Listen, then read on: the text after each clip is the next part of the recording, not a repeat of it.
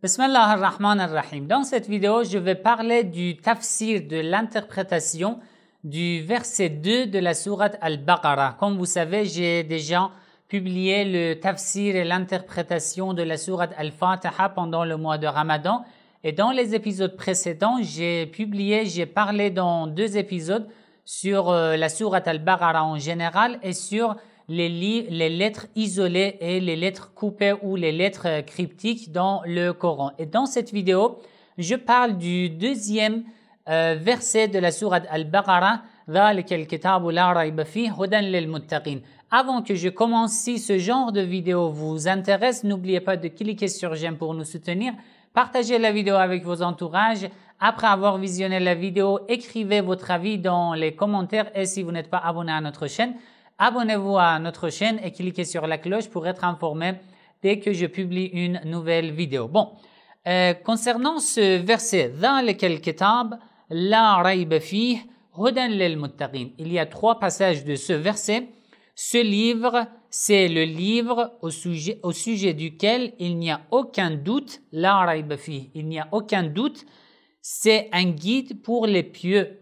Un guide lil pour les pieux. Alors, je vous donne d'abord la signification de tous les termes de ce verset et après, je vous explique encore un peu plus. quel kitab, c'est le livre ou ce livre? Dhalika en arabe est un terme pour euh, montrer une chose qui est loin.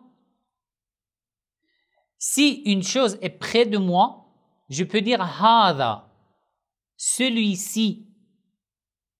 Mais si une chose est loin, je peux dire dhalika. D'accord? Celui-là. En, français, on dit celui-là. Et là, Allah dit dhalika al-kitab. Ce livre. Pourquoi Allah a utilisé le terme dhalika? Est-ce que le livre, le Coran, al-kitab, le livre, parle du Coran, veut dire le Coran, ici dans ce verset du Coran. Euh, et dans plusieurs versets du Coran aussi, pour parler de, du Coran, Allah dit Al-Kitab, le livre. Alors, est-ce que le Coran, par rapport à Allah, est loin, est une chose qui est loin, pour lequel Allah a utilisé le terme dans les cas, celui-là? Non. Dans la langue arabe, parfois, pour augmenter l'importance d'une chose, d'accord, on utilise un terme qui s'emploie souvent pour montrer quelque chose qui est loin alors qu'il est proche. Donc, le fait de dire dans lesquels kitab, le Coran est proche. Le Coran est la parole de Dieu. Mais pourquoi Allah utilise un terme qui montre ce qui est loin pour donner plus d'importance au Coran? Il ne dit pas le Coran, il dit le Coran pour montrer l'importance énorme, l'énorme importance du Coran. Donc, le point, euh, la leçon que nous, pouvons tirer de ce terme, dans lequel kitab, c'est ça. C'est l'importance du Coran euh, d'après Allah. Al-Kitab, c'est le Coran. La rayba sur lequel il n'y a pas de doute. De quel doute parle Allah dans ce verset? Il faut réfléchir. C'est quel doute?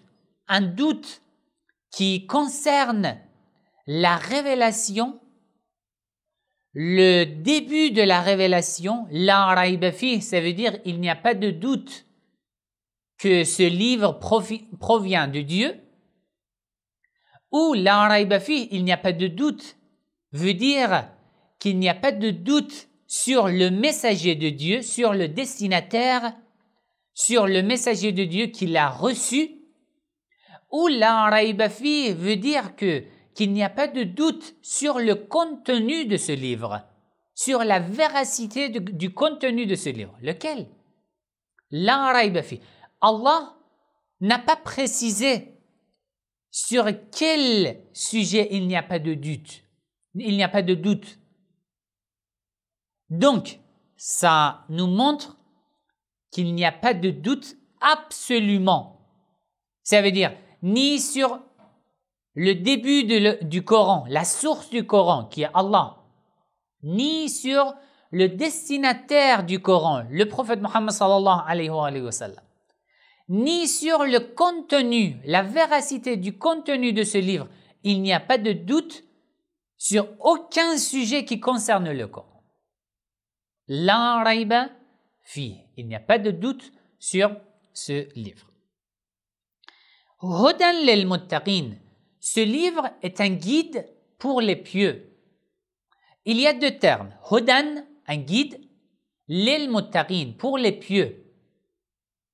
Alors, Hudan, un guide, comment le Coran peut guider? C'est quelle sorte, quelle méthode, quel type de guide Comment? Alors, regardez, par exemple, dans la sourate al-Baqarah, et dans la sourate al-Baqarah, le verset 185, Allah parle de la révélation du Coran. Dans la sourate al-Baqarah, le, deuxième verset dont nous parlons maintenant, Allah dit. Le Coran est un guide pour les pieux. Est-ce que le Coran ne peut pas guider les autres, les impies, les païens, les polythéistes, les incroyants?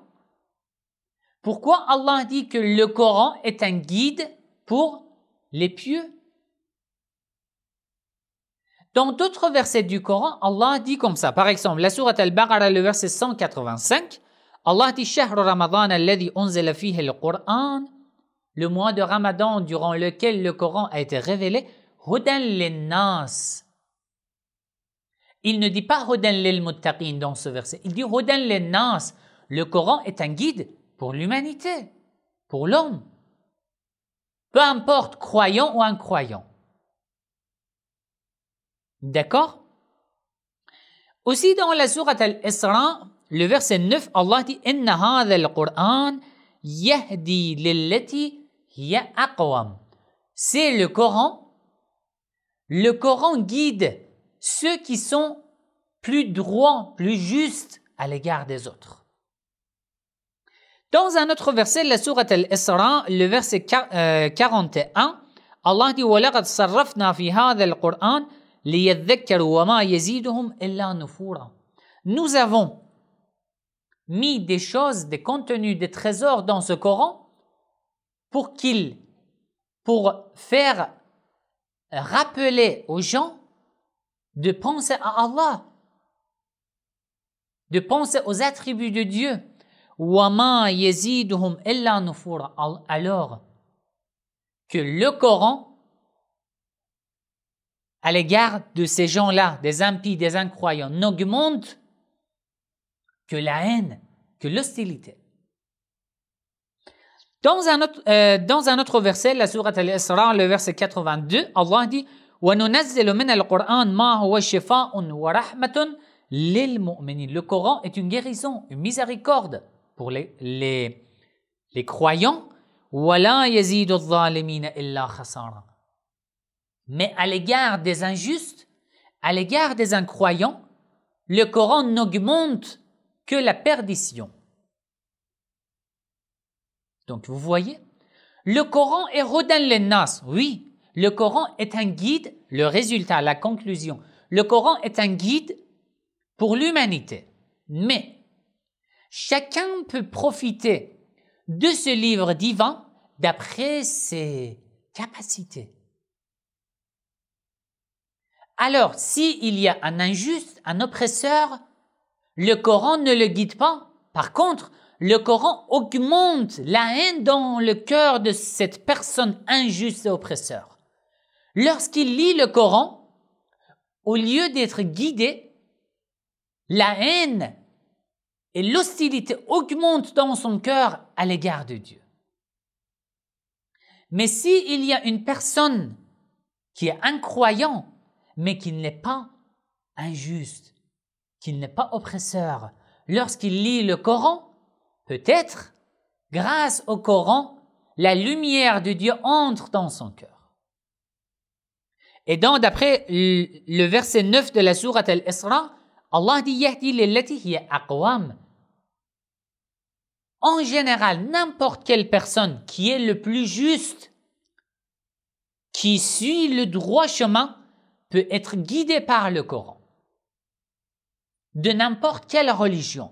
Mais les injustes, les oppresseurs, les tyrans ne profiteront jamais du Coran et le Coran ne leur accorde, ne leur donne que l'hostilité à l'égard de Dieu. Donc, lorsque dans le deuxième verset de la sourate Al-Baqarah, nous lisons le Coran est un guide pour les pieux. C'est pour ça, parce que les pieux ont une capacité, une meilleure capacité pour recevoir la lumière de Dieu. Une personne qui a fermé ses yeux intentionnellement, comme ça, n'arrive pas à profiter de la lumière du soleil. C'est sa faute. C'est pas la faute du soleil. Si tu fermes tes yeux intentionnellement et volontairement, c'est toi qui n'arrives pas à profiter de la lumière du soleil. Ce n'est pas la faute du soleil. Un injuste, un oppresseur, qui a fermé ses, yeux devant la lumière de Dieu, c'est sa faute qu'il n'arrive pas à profiter, qu'il n'arrive pas à être guidé par le Coran. Ce n'est pas la faute du Coran. Voilà. Alors, Allah dit le Coran, donc le Coran est un meilleur guide pour les pieux. Qui sont les pieux? Je dois savoir comment je peux être un pieux pour pouvoir profiter d'une meilleure façon de la richesse du Coran. J'ai déjà fait une vidéo l'année dernière, pendant le mois de Ramadan de l'année dernière, 2020, sur la piété. Vous pouvez regarder ces vidéos dans le playlist de l'éthique sur notre chaîne. Et maintenant aussi, je vous donne quelques versets. La sourate al-Baqarah, le verset 177. ليس البر أن تولوا وجوهكم قبل المشرق والمغرب ولكن البر من آمن بالله celui qui croit en Allah واليوم الآخر au jour dernier والملائكة aux anges والكتاب au livre au Coran والنبيين aux prophètes وآتى المال على حبه ذوي القربى واليتامى والمساكين وابن السبيل والسائلين وفي الرقاب et qu'ils donnent, qu'ils dépensent de leur argent alors qu'ils ont besoin de leur argent Ils aiment leur argent, mais quand même, ils dépensent. À qui À leurs proches, orphelins, aux nécessiteux, aux pauvres, à ceux qui sont en voyage et qui ont perdu leur argent,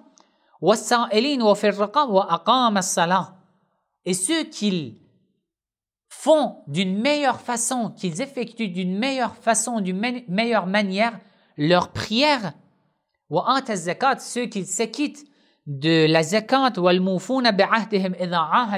ceux qui respectent qui tiennent leurs promesses.